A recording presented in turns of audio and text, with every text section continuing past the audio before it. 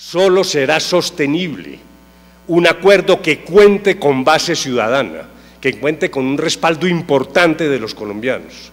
Más que creatividad jurídica, repito, lo que necesitamos es convocar al ciudadano, a la población.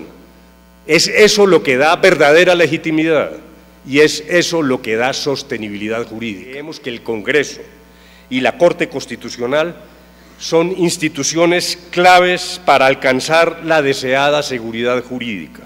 No podemos pretermitirlas. La Mesa de La Habana no tiene el poder de reformar por sí misma la Constitución. Sabemos que van a ser necesarias reformas constitucionales, eso va a ocurrir.